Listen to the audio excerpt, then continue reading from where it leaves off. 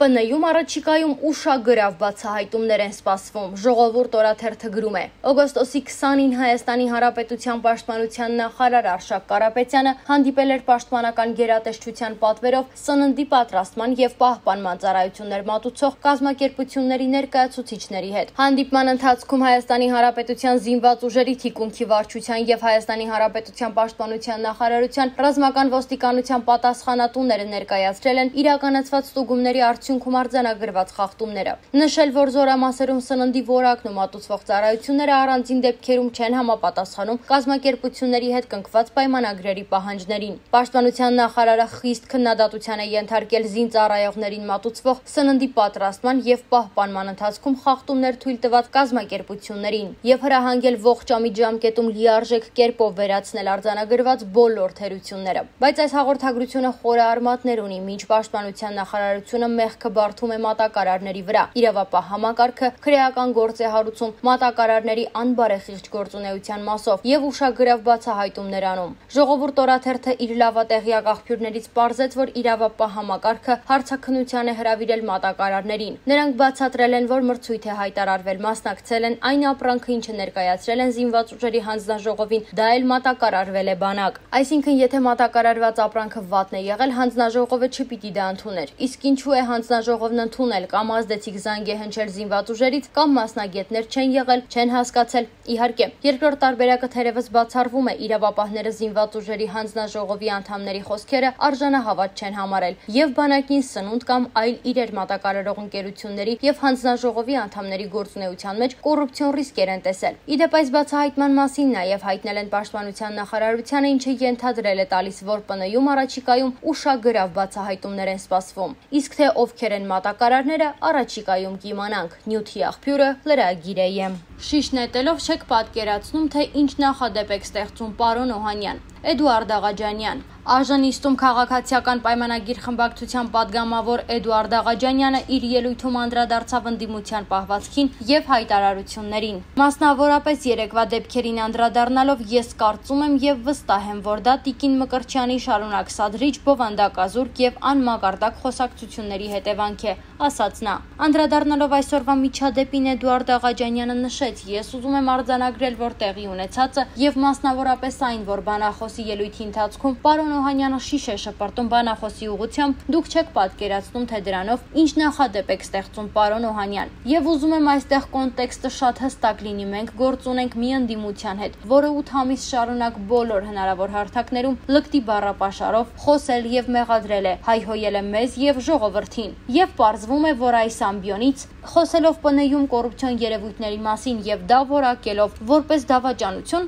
այստեղ կանգնած բանախոսը շիշ է ստանում իր ուղությամբ պարոն Օհանյան դուք չեք պատկերացնում թե ինչ նախադեպ եք ստեղծել եւ զա ամենևին էլ ձեր օկտին չէ նյութի աղբյուրը լրագիր է եմ այդ ոնց եղավ որ Արցախը ծախեցինք մենք բայց միլիարդներ ունեցաք դուք ԿՊ պատգամավոր Աշխաքաղաքացիական պայմանագիր խմբակցության падգամավոր Վահագն Ալեքսանյանը իր ելույթում պատասխանեց ընդդիմությանը։ Ընդդիմադիր գործընկերները մեզ մեղադրում են Արցախը ծախելու մեջ, ասում են եկել եք, ծախել եք, հարստացել։ Այդ ո՞նց եղավ, որ Արցախը ծախեցինք մենք, բայց միլիարդները ունեցաք դուք։ Արցախը ծախեցինք մենք, բայց կոմբինատները ունեցաք դուք։ Ես աշխատանքից դուրս եմ գալու, իմ Kia ավտոմեքենայով գնամ տուն։ Ձեզ այնտեղ Jaguar, գուցե եւ Bentley, Maybach է սպասում։ Այդ ո՞նց եղավ մենք ծախեցինք այդ 4 միլիարդ միլիարդը մենք ստացանք, բայց չգիտես ինչու պետական ապարատում աշխատած ձեր գործընկերները այդպիսի падավատներ ունեն։ Ասում է սևերի ու սպիտակների եք բաժանել։ Հազար ներողություն, մենք ենք բաժանել։ Իմ պատկերացմամբ, երբ Ռոբերտ Քոչարյանի ժամանակ թոշակառուները ամիսներով ցույց էին անում, ասում էին մեր 4000 դրամ թոշակը մի ուշացրեք, տվեք։ Այդ ընթացքում պարոն Ռոբերտ Քոչարյանի ընտանիքը մոտավորապես ինչքան ֆինանսական միջոցների էր տիրապետում։ Ձեզ թվում է դա ավելի ցայտուն սևերի եւ սպիտակների բաժանում չէր, կարող է Հայաստանի Հանրապետության քաղաքացիները չգիտեն, որ եթե սխալվեին,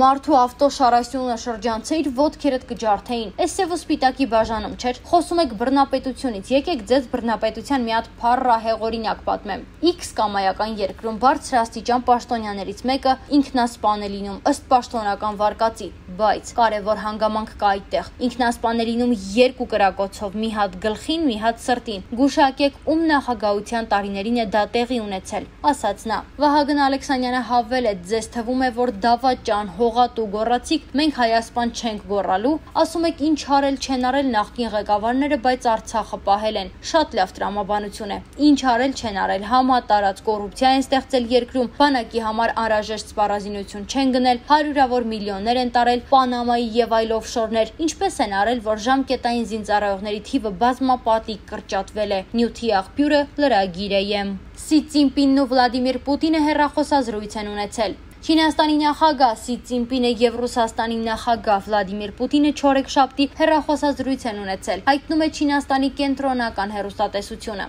Երկու երկրների ղեկավարների զրույցի մասին դեռ մանրամասներ չեն հաղորդվում։ Նյութի աղբյուրը լրագիր է եմ։ Վրաստանում հերթական երկրաշարժն է տեղի ունեցել։ 3.4 մագնիտուդ ուժգնությամբ երկրաշարժ է տեղի ունեցել Նինոց Մինդա քաղաքից 25 կիլոմետր հեռավորության վրա գտնվող Սաբմեբա գյուղում։ Հայտնում է սեյսմիկ մոնիթորինգի ազգային կենտրոնի կայքը։ Ստորգետնյա ցնցումներ են գրանցվել տեղական ժամանակով 9:31-ին։ Երկրաշարժի էպիկենտրոնը գտնվել է 9 կիլոմետր խորության վրա։ Նախորդ 4.2 մագնիտուդ ուժգնությամբ երկրաշարժն էլ տեղի էր ունեցել Սամեբա գյուղի մոտակայքում օգոստոսի 17-ին։ Օգոստոսի 16-ի գիշերը Սամեբա գյուղը ցնցել էր 3-ից 5.1 մագնիտուդով երկրաշարժերի շարքը։ Վրաստանը միջին սեյսմիկ ակտիվության երկիր է։ Վրաստանում ամենահզոր երկրաշարժը 7 մագնիտուդ ուժգնությամբ տեղի է ունեցել 1991 թվականին։ Նյութի աղբյուրը Առաջին է տեղեկացնում է, որ Արեն Մկրչյանը ընդդիմությանն ասել է. «Ձախ եմ նայում, թվում է Ալկատրասի բանտում եմ, ուզում եմ լողալով դուրս գամ»։ Գեղարքունիքի մարզային քնչական վարչության քննչությամբ պետ է նշանակվել։ Հայաստանի Հանրապետության քննչական կոմիտեի նախագահ Հարգիշտի Քյարամյանի 2021 թվականի օգոստոսի 25-ի հրամանով Հայաստանի Հանրապետության քննչական կոմիտեի Գեղարքունիքի մարզային քննչական վարչության պետի պաշտոնում նշանակվել է Արդարադատության առաջին դասի խորհրդական Արման Վագիֆի Բաղդասարյանը։ Ազատվելով Երևան քաղաքի քննչական վարչության Աջափնյակ եւ Դավթաշեն վարչական շրջանների քննչական բաժնի պետի պաշտոնից։ Այս մասին տեղեկացնում է ՔԿ-ն։ Նյութի աղբյուրը մամուլ է։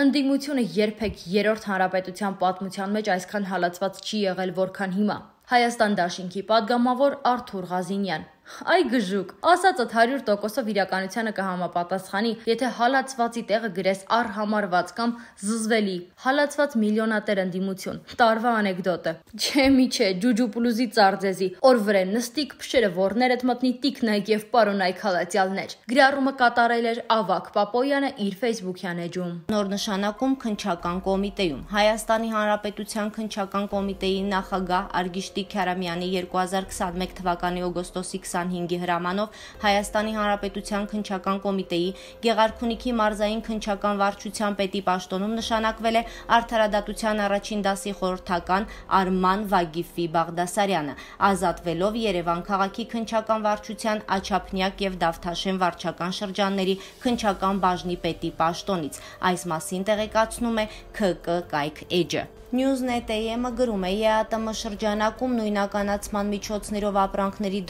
դրոշմավորման ազգային օպերատորը պատրաստ է իրականացնել դրոշմավորում։ Եվրասիական տնտեսական միության շրջանակներում նույնականացման միջոցներով ապրանքների դրոշմավորման ազգային օպերատոր ճանաչվեց հերանեկարային տեխնոլոգիաների զարգացման կենտրոն Արմենիա սահմանափակ պատասխանատվությամբ ընկերությունը։ Ներդրել է համապատասխան համակարգեր եւ պատրաստ է իրականացնել դրոշմավորումը հետեւյալ ապրանքախմբերի խմբերի մասով։ Այս մասին Նյուզեյեմը տեղեկանում է ՊԵԿ տեղեկատվության եւ հասարակայնության հետ կապերի բաժնից։ Թեթև արդյունաբերության ապրանքներ, օծանելիք եւ հարթաջուր, անվադողեր, ֆոտոխցիկներ, լուսարձակող լամպեր։ Ռոմանոս Պետրոսյանն իր Facebook-ի էջում գրել է. «Միանշանակ է։ Բոլոր այն ՊՆ նախարարները, որոնց ժամանակ մեր երկրում գումարով կամ հերախոսազանգերով մարդ է ազատվել բանակից, հայրենիքի դավաճաններ են։ Իսկ ով չի կիսում այս միտքը։